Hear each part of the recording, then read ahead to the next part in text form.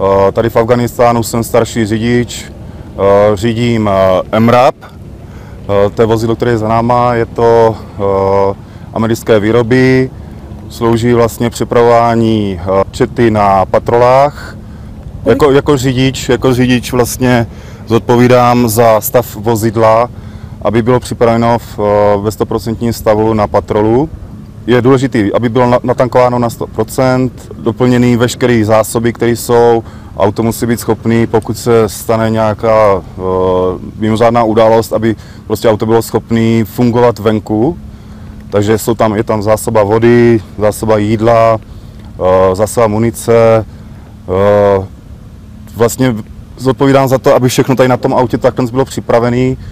Tom autě nás jezdí samozřejmě víc a každý má svůj vlastní úkol, ale já jsem starám o to, aby to auto bylo pojízdné, jo, plně. Tak tady v tom terénu je vlastně problém v tom, že většina cest je nespevněných, eh, je to vlastně prašný povrch s kamením, který když zaprší, tak klouže, je tam bahno vlastně, eh, ty silnice jsou tady dost úzký, jezdí se mezi kaláty, kdy vlastně eh, ten řidič nemá pořádný výhled, jo, ne, nemá představu, co má za autem nebo takhle. Pomáhají hodně eh, ganeři, kteří jsou vlastně další takový oči toho řidiče, který mu radí, kolik si může najíždět do zatáček různých a takhle. Tak hlavně s těmi profesí bylo zajímavé to, že prostě ten řidič má hodně omezený výhled.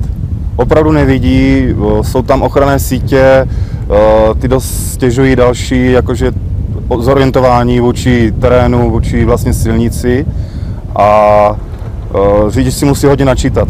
Musí si načítat ten terén, který je před ním, aby se už dopředu připravil na to, co ho tam čeká vlastně, že tam jsou ně, nějaký výmoly velký po výbuších, nebo jsou tady různý uh, hromady kamení sk- skládaný, jo, takže vlastně musí vědět, jak se vyhýbat, kolik si může dovolit ještě najet. A, uh, rozestup mezi MRAPama v sestavách je jedna z nejdůležitějších věcí, a ten opravdu musí řidič zvládnout prostě na 100% na jedničku, dokázat zareagovat i bez povelu uh, velitele vozu nebo velitele uh, patrolí, zastavit, přibrzdit si, sledovat vlastně pohyb aut před sebou, aby zase adekvátně se rozjel a pokračoval dál v plnění úkolu.